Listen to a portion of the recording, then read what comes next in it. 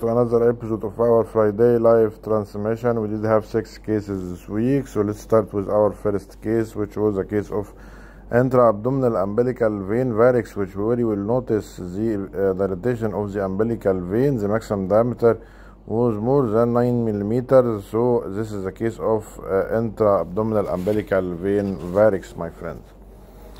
Uh, we didn't have much comments to uh, see. Yes, two comments which were uh, which were uh, correct. So let's go to the second case, which we have here.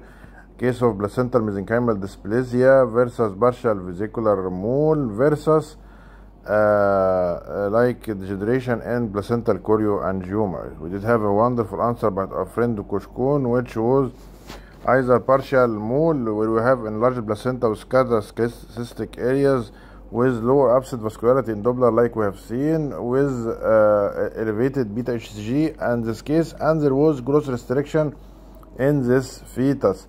Uh, I will rule out placental mesenchymal dysplasia uh, because the beta HCG was not normal and I will rule out chorioangioma. It's not a chorioangioma. We did have many cases of chorioangioma uh, which does not uh, qualify for this case. So let's go back to our uh, go uh, to our third case, which was a case of right aortic arch, my friends, uh, where we do have a direction abnormal of the uh, aorta left ductus and right aortic arch. We do we did have all yes yes yes vascular ring, uh, prophenocolastic right aortic arch. Bravo, yes yes all were uh, very good comments my friends. We did reach to our fourth case for this week. We did have wonderful answers by our friend uh, uh dr mahmoud musa uh, extracerebral hemorrhage hematoma uh, pushing the brain. Yes this was the answer extracerebral hemorrhage. Yes yes yes this was the uh, answer for this case. Extracerebral hemorrhage. The mother did give us an account of uh, hemorrhage of sorry trauma and this was a case of extracerebral hemorrhage. This case was a case of female and i don't know why my friends missed the uh, first few seconds of the clip. Clearly she is a female with an ovarian hemorrhagic cyst. I did identify the bladder with iliacs around it and the ovarian hemorrhagic cyst is apparent so we did have a large comment by our friend Dr. Najma uh, uh, which where we will put in our uh, uh, case of the week for this. Uh, yes, because this case is a case of ovarian hemorrhagic cyst, but she did uh, put our insight. You can see the answer here on LinkedIn. Uh, that if he is a male, the testis could be uh, uh, cited here. Okay, but I am sure sure that this was a female fetus.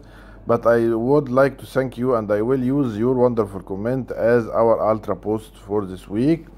So let's go to our sixth case for this week, which was the crown of the jewel. The yes, the jewel, the jewel of the crown, the top gem for this week, which was a case of DORV double outlet right ventricle, we can see the number of vessels, which are only two vessels with an uh, apparent persistent left superior vena cava adjacent to it, with also uh, an unbalanced AVSD versus uh, left heart syndrome, but I will go with unbalanced AVSD.